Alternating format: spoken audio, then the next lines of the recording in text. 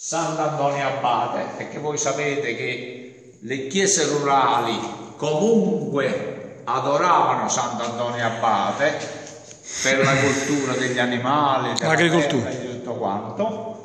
E quindi abbiamo non si riesce a capire tutti i santi che sono raffigurati in effetti perché è un po' sbiaditi e un po' sconosciuti perché la nomenclatura della Chiesa poi si aggiorna, cancella gli santi antichi e rimette i santi nuovi. Però in effetti bisognava andare a vedere questi e qua si parla.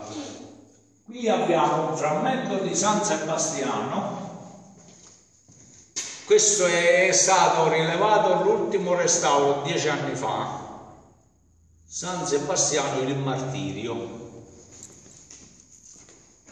Sopra questo è un tunnel dal quale saliva il prete dall'altra navata e veniva sul pulpito per fare la predica. Voi sapete che un'epoca il prete per fare la, la predica doveva andare sul pulpito come sta il Vescovato a Sessa, come sta tutte le chiese, come sta pure al Vaticano. Qua in effetti, chiesa rurale, avevano scavato questo tunnel, qua c'erano dei travi, c'era un solaio di legno e il parroco saliva e faceva la predica e poi riscendeva dall'altro lato. Qui abbiamo detto, eh? e lì sopra abbiamo tre rappresentazioni, tre icone di santi Santa Estra, Santa Margherita e Sant'Onofrio.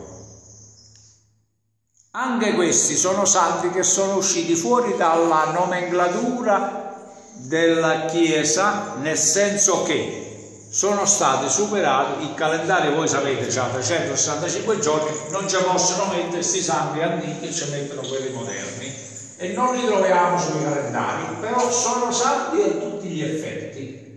Sant'Onofrio, lo vedete, è quello che ha i capelli lunghi, quelli non è un vestito, quelli sono i capelli lunghi perché lui dice che doveva vivere naturalmente come Cristo l'aveva creato e non si è mai tagliato i capelli. Ecco perché sembra che siano delle ossa, delle cose. Santa Esedra è, sta pure a Pontecorvo. Eh? Santa Esedra, sì. E Santa Margherita. Questa c'entra Santa Margherita e Santa Esedra è quella lì e questo è Sant'Onofrio. Oh, per